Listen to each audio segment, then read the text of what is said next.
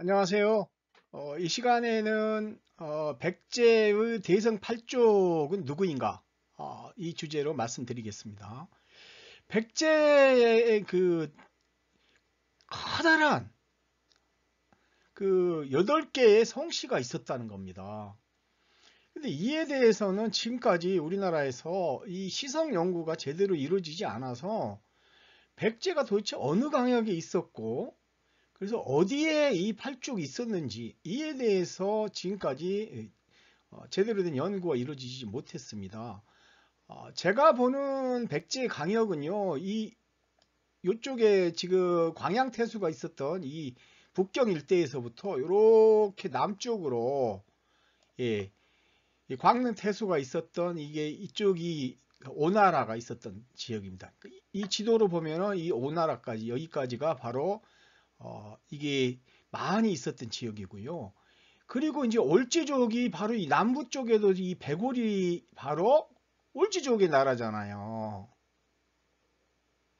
그래서 바로 백제 대성 팔족은 한반도의 나, 남쪽 그리고 이 중원의 이 해안가 북경에서부터 이 남, 남만 교지까지 베트남 일대까지가 다 대륙 백제였다는 겁니다.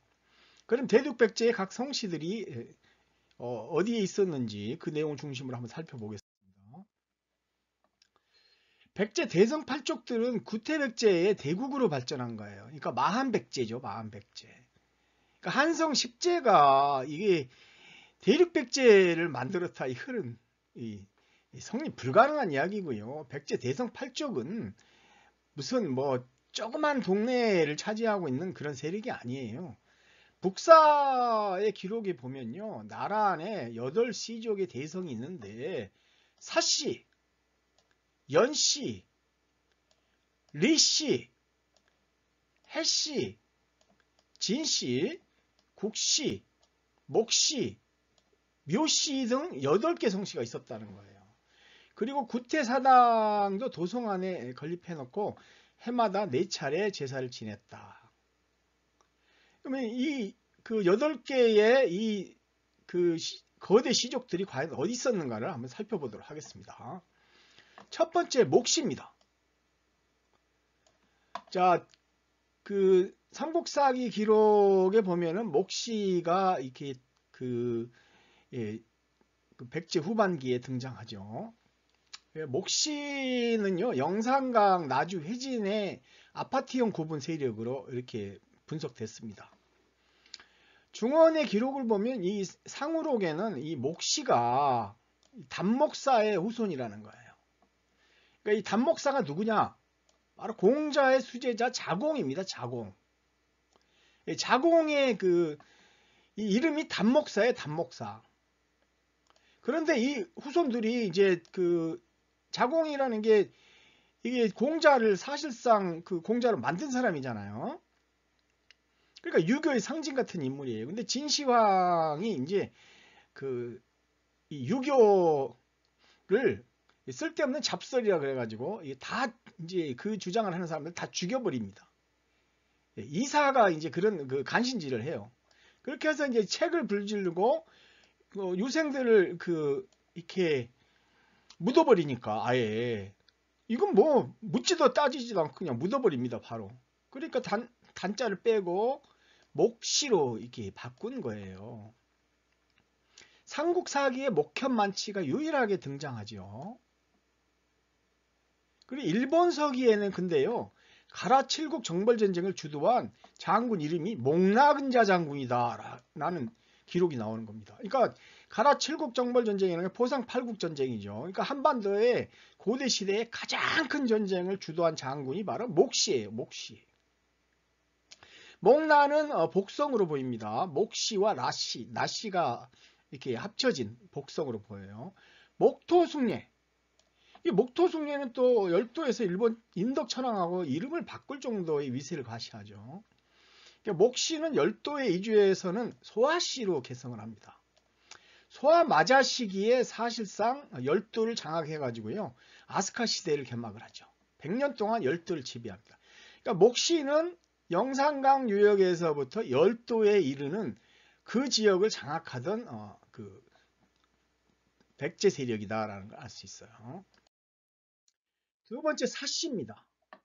사씨는 모래사자인데요. 이 사씨에 관련된 기록을 보면은 어, 잠부론의 지시성조에 보면요. 사씨는 원래 제을탕의 후손이다라고 기록되어 있어요. 제을탕은 바로 상나라의 임금이잖아요. 남제서에는 북위를 물리친 사범, 사범명 장군이 등장하죠. 사범명 장군을 메라왕으로 임명했다라는 겁니다. 그러니까 이, 이 세력들은요, 어, 이 전라북도하고 중어에 걸쳐 가지고, 어, 있었던 전라북도 익사 세력입니다. 금강 유역에. 일본 서기에는요, 훈명천왕기의 백제 성왕 때 상자평의 사택 기록, 그 무왕과 의장 때는 대자평 사택 지적. 그러니까 이 사람들이 이, 이 백제의 왕 다음에 권력을 행사했던 사람이에요. 그러니까 성왕이 이게 이제 성왕 때는 한반도에 있었잖아요.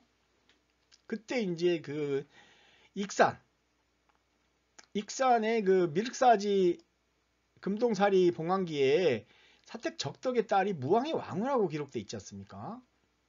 그러니까 이게 익산 지역하고 중원에 그 송나라가 있었던 그 지역 을 망라하는 세력으로 보입니다. 사씨는요 상나라가 멸망한 후에 송나라를 건국하죠. 사수라는 지명을 성씨로 했어요. 그 다음에 연씨입니다. 이 연씨는 제비연자잖아요. 이게 이, 이 세력들은 상나라를 계승한 세력이고요. 아, 이에 그 우리가 알고 있는 그 연나라 아, 전국 시대의 연나라 어, 세력과 같은 걸로 보입니다. 연, 연나라가 이제 조선하고 계속 갈등을 벌이지만 결국은 어, 이게 동이족이었던 거예요. 대륙 연나라 소공 석의 후손이고요. 하북성과 연영성 일대에 있었던 걸로 분석됩니다. 통지 시종약에는 휘성에서 출자했고 어, 소공석이 북연에 봉해진 후에 나라 이름을 성씨로 삼았다 했고요. 후대에서 선비전에도 선비적 중에도 연씨가 있다라고 그랬어요. 삼국사기에는 어, 삼군왕 시기에 은설 연신이 등장합니다. 동성왕 시기에는 어, 달솔 연돌이 등장하고요. 성왕 시기에는 좌평 연모와 연회가 등장합니다. 무왕 시기에는 연문진. 그러니까 연신의 삼국사기에서 어, 금강백제 시기에 등장한 신흥세력이라고 하는데요. 아, 원래 구태백제가 건국됐던 하북성 일대에 원래부터 연씨가 같이 있었던 걸로 보입니다. 그 다음에 국시입니다. 나라 국자 국시요. 예, 이거는 산동성 제나라의 그 주축 시족이죠. 산동성 제나라의 이게 4대 제나라 시기에도 4대 어, 거대 성씨 중에 하나였어요. 국시는. 잠보론 시성조에 보면은 국시는 예, 강성이에요, 강성. 강씨에서 비롯된 성인데 관직이 어, 그 나라 국자가 들어가는 보국 정경이었어요. 그래서 이 관직을 성취로 삼은 거예요. 그러니까 춘추자전에는 제 나라의 보국 정경이라는 관직을 가진 시족이 국시를 어, 시로 성씨로 삼았다라는 겁니다. 오나성찬에는 정나라의 그 자산 있지 않습니까? 춘추 시대를 그 주름 잡았던 인물 자공과 자산이 두, 두 분이 있는데 그 자산이 바로 이름이 국교예요, 국교. 그래서 이 정, 국시의 시조입니다, 시조. 자산이. 국시 군망은요, 합의군이에요, 합의군. 강소성 비연의 합의고성이 바로 예, 국시들 군망입니다. 삼국사기에는 무왕이 611년 어, 수양제가 고구려를 공격하려 하자 국지모를 수나라에 보냈다라는 기록이 있어요. 그 다음에 다섯 번째는 해씨입니다. 원래 해씨는요 산서성 일대에 있었어요. 그 산서성 일대에서 이제 그, 이, 그 요동 지역으로, 어, 그 이주를, 집단 이주를 한 걸로 보입니다. 주무왕의 아들 당수구의 후손이에요, 해씨들은. 성씨 급치편에는요, 해지, 즉, 그 하동입니다. 하동. 산서성의 하동이요. 즉 산서성 서남부에 위치해서 옛 어, 진나라에 관할지였어요. 그래서 춘추 시기에 다수의 진나라 대부를 배출한 성씨가 바로 해씨입니다. 아, 그 해모수 있죠. 해모수가 있고 또 어, 주몽도 해주몽이잖아요. 해씨예요. 네, 해씨가 많이 사는 곳은 안문, 산서성 대연, 신강, 그리고 평양군, 낙양군, 요동군 이렇게 돼 있어요. 이 요동에도 바로 해씨들이 살고 있었어요. 그 삼국사기에서 해씨는요. 고구려 왕성이지 않습니까? 해모수, 주몽이 다 해씨예요. 십제의 시조 온조도 어, 주몽의 아들로 해씨입니다. 그러니까 삼국사기에서 말하는 백제, 그러니까 어, 십제죠. 십제의 시조 온조는 바로 해씨입니다. 해씨. 예. 십제의 왕성이에요. 해씨는 원조 이후 한성 십제에서 가장 강력한 시족으로 십제 왕권을 장악을 했던 거죠. 그 다음에 진씨입니다. 진씨. 진씨는요, 하남성의 일대에서 발원한 성씨예요. 예. 여시 춘추라든가 신행농 일행에 보면은 진규 등 5인이 우임금을 보좌했다라고 돼요. 우임금 시대에 바로 진씨가 있었어요. 그 진씨들의 군망은요, 어, 이게 하북성, 상곡, 감숙성 천수 일대입니다. 어, 삼국사기에는 한성 10제의 왕비족이라고 기록이 돼 있어요. 그러니까 어, 이 그 10제도 사실은 그 이 그 대륙에서 건국된 거잖아요. 폐대 폐대 간에 그러니까 폐수, 요수하고 대수가 흐르는 그 지역에서 건국을 해가지고요. 어, 나중에 한반도로 이주를 한 걸로 보입니다. 이, 이때 진씨들이 바로 왕비족으로 막강한 권력을 행사합니다. 근초광은 뭐 굉장히 큰 왕이다, 그 위대한 왕이다 그러는데요. 그 조정 자평 진정이 그냥 거의 그 실권을 행사하면서 20년간 근초광이 그 아무 기록이 없지 않습니까? 삼국사기에. 그러니까 이 진씨들이요, 어, 이 실권을 행사해 버렸어요. 왕비족으로. 신찬, 신찬 성시록 그 열도의 신찬 성시록에 보면은 응신왕이 그 열도로 도망가지 않습니까? 그런데 이게 응신왕이 진 진인이다 이렇게 돼 있어요. 그 후손들이 진씨란 이야기죠. 진씨. 그러니까 이그 구태백제에서도요. 이 진씨들이 그 왕비족 역할을 했어요. 그러다가 이제 그 응신이 예, 구태백제 왕이 된 것이죠. 그래가지고 어, 광개통한테 패해가지고 열도로 도망갑니다. 한성 십제와 금강 백제 모두에서 권력을 행사한 세력이에요. 리씨입니다. 리씨. 이 리씨는요. 이게 협씨라고도 뭐 그 발음한 걸로 보이는데 한국 중국에요. 이 성씨는 없어요. 제가 그별 어, 방법을 다 동원해 가지고 찾아봤습니다만은 어, 없어요. 없고 기록도 없습니다. 다만 발음이 리로 발음된다는 거예요. 리. 그러니까 리씨를 리, 리로 발음되는 고대 성씨를 한번 찾아보니까요. 협도는 리는 발음에 따라 기록한 걸로 보입니다. 그래서 려씨가 있어요. 려씨가. 바로 려씨가 어, 리, 리로 발음됩니다. 이 리, 여씨는요. 고구려 할 때 구려족이기도 하고요. 또 이게 그 이 월 그 백월 지역에 백월 지역의 묘족이기도 해요. 그래서 여, 려시는 아, 리시죠. 리시. 리시는 어, 둘로 갈린 걸로 보입니다. 고구려족하고 어, 이 백제족으로. 동이족 대성 중에서 중국에서 리로 발음되는 성씨는 엽시뿐이에요. 그래서 려시로 보는 것이 맞고요. 그러니까 발음을 리로 한 거예요. 원화성찬에는 상나라 제후국 려국이 산서성 상당 호관 일대에 있었다라는 거고요. 이들은 치우의 후손이에요. 그러니까 황하 중하류 장강 유역 일대에 거주한 걸로 보입니다. 그러니까 그 고구려의 그 저쪽 그러니까 요동 지역에도 있었던 어, 성씨인데 백제니까요. 여기서는 황하 중하류 장강 유역 일대에 있었던 걸로 보입니다.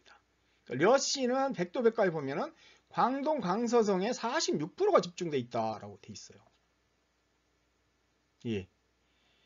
강서성, 산서, 사천성까지 이렇게 돼 있고요. 사고전서에는 서백이 려국을 멸망시켰으나 무왕이 복국시켰다. 탕의 후손을 려후라 한다 이렇게 불렀어요. 풍서를 엄에 봉했다라고 합니다. 엄국이 막 반란을 나중에 일으키죠. 이때 이 엄국에 려와 리씨가 있었다는 거예요. 그러니까 리씨는 여시, 리어시로 발음이 됩니다. 백씨는요, 이게 풀초가 들어 있지만요, 그냥 어, 그러니까 그 흰백자 어, 백씨로 분석하는 게 맞습니다. 충남 공주 부여와 경기 일원인데요. 어, 이 지역만이 아니라 아, 이제 그 중원에도 어, 백씨들이 산동반도에도 있었던 걸로 이렇게 나타납니다. 삼국사기의 동성왕 즉위 어, 4년 482년에 진로를 병관자평에 임명한 이후에 8년 봄에 경호실장에 해당하는 위사자평에 백가를 등용하죠. 근데 이 백가가 나중에 어떻게 합니까? 동성왕 시기에 마흔백제와 이제 갈등을 벌이다가 호남 여씨 왕들이 이 백가를 시켜가지고 동성왕을 죽여버리죠. 동성왕이 결정적으로 어, 죽음을 당하게 된 계기는 바로 무진주에 행차한 겁니다. 무력을 행사해가지고 마한을 공격해보려고 하다가 이게 동성왕이 결국은 그 예, 비서실장한테 경호실장한테 죽음을 당하는 거예요. 그러니까 이게 그 원래 그, 그 백제가 있었던 이 공주 일대는 산악지대잖아요. 산악지대. 제가 지금 공주에서 살고 있는데요. 공주는 이 사, 평야지대가 거의 없습니다. 그러니까 이 호남에서 이 그 백제를 그 지원하고 있었던 거예요. 호남에서 쌀을 갖다 실어다 날른 거예요. 익산에서. 익산의 사씨들이. 그러니까 이게 만약에 사씨들이나 이게 여씨들이 식량을 안 갖다 주면 어떻게 합니까? 어, 구, 백성들이 굶주려 죽습니다. 그래서 신라로 도망한 자가 600호나 돼요. 이 491년에. 600호면은 곱하기 5를 한번 해보십시오. 그냥 약 3,000명이 도망갔다는 이야기죠. 고구려로 도망한 자도 499년에는 어, 2,000명이나 돼요. 그러니까 이 동성왕은 이 공주에서 엄청 굶주렸어요. 그렇게 하다 보니까 어떻게 돼요? 천도를 부여 천도를 하려고 했죠. 부여는 그나마 좀 평야지대가 있어요. 그래서 측근 백가를 가림성으로 보냅니다만은 501년에 백가가 동성왕을 시해해 버리죠. 그러니까 삼국사기에는 무왕 시기에 백기를 신라에게 신라를 공격하게 했다 이런 기록도 있어요. 백씨는 이후에 그 풀초자를 없애고 백으로 성실, 성실을 간소한 것으로 보이고요. 어, 산동하고 어, 중원의 중원의 산동성하고 이렇게 충남 공주 부여 어, 경기 일호에 예, 있었던 걸로 보입니다. 수원백 씨가 가장 많은 인구를 차지하고 있죠. 자, 이에 따라서요. 한번 그각 어, 성씨들이 어디 있었는지 한번 표시를 한번 해보겠습니다. 먼저 목시입니다. 목시는 이쪽에 영산강 유역과 이 가야 지역 이쪽 지역까지 장악하고 있었고 열도의 이쪽 지역까지 장악을 하고 있었던 어, 백제의 시족이 여기에 목시가 있는 거예요. 그 다음에 사시 있습니다. 사, 시 사시는 전북 익산 지역하고요. 이 산동에 이 송나라가 있었던 이쪽 지역이 사시가 있었어요. 예, 이쪽이 이게 예, 사시가 있었던 대륙백제의 사씨가 어, 위치한 곳은 전라북도 익산 일대하고 중원에 그 송나라가 있었던 어, 그쪽 지역을 어, 있었다는 걸 알 수 있습니다. 그럼 진씨 해씨요. 진씨 해씨는 원래 이게 이쪽 지역에 있어 나라를 건국했죠. 십제가 건국된 건 여기에요. 십제도 뭐 한강 유역에 처음부터 있었던 게 아니고 상당 기간 동안 여기서 건국을 한 겁니다. 요동 지역에서. 그 요수 폐수 지역 일대에 건국을 했어요. 이게 고구려가 여기 있었으니까요. 이쪽으로 이제 그, 그 원조가 내려온 거죠. 소선왕하고. 이렇게 해서 이게 이들이 이제 어, 그, 이 산동반도를 거쳐가지고 한, 한성유역으로 나중에 들어옵니다. 그래서 위례란 지명을 갖고 들어와요. 그래서 이, 이렇게 원래 어, 해시는 이 산서성 이쪽에 예, 이쪽에서 발원해가지고 이쪽으로 이동을 해가서 나중에 이렇게 그 한반도에 지금 한가, 한성 뉴욕에 있었던 어, 성씨입니다. 마찬가지로 진씨 진씨는 어, 이거보다 천수 일대에 있었다고 그랬죠. 이거보다 더 그 왼쪽 서쪽에서 이렇게 이쪽으로 와가지고 해시하고 그 연합을 해서 그 십제를 건국을 합니다. 그렇게 해서 한성 뉴욕으로 같이 들어온 겁니다. 그러니까 진 씨와 해 씨의 경로는 이렇게 됩니다. 그 다음에 백 씨요. 어, 백 씨는 요 산동반도에 여기에 흰백자 백 씨가 라미 라미가 바로 백 씨거든요. 예, 라미가 여기에 있었어요. 노람국 마한의 노람국도 여기에 있었습니다. 그이 백씨가 바로 이쪽에 이렇게 경기도 일대까지 이렇게 있었던 걸로 보입니다. 예. 그래서 백씨도 대륙 세력이에요. 그 다음에 국시요. 국시는 바로 이쪽 산동성 요 남부 지역 이쪽에 있었던 게 바로 예, 나라 국자 예, 국성시입니다. 그래서 어, 이 수나라의 사신으로 파견될 때도 이렇게 백제 왕이 이렇게 편하게 이렇게 파견을 할 수가 있는 거예요. 아, 이쪽으로 가는 거죠. 그 다음에 이제 어, 리시, 리시요, 리시. 리시가 바로 예, 이쪽 일대에 있었던 묘족으로 보입니다. 리시가. 예, 리가 이게 묘족이에요, 묘족. 예, 치우의 후손인데 산동에서 어, 산동 지역에 이쪽 지역에 있다가 일이 예, 남쪽으로 이동한 세력입니다. 그래서 어, 이 대륙 백제의 주, 어, 요 시적이고요. 여기에는 리시에는 묘족인데 나씨와 노씨가 이게 포함되어 있었던 걸로 보입니다. 나노씨가 묘족이에요. 나노, 나노씨가.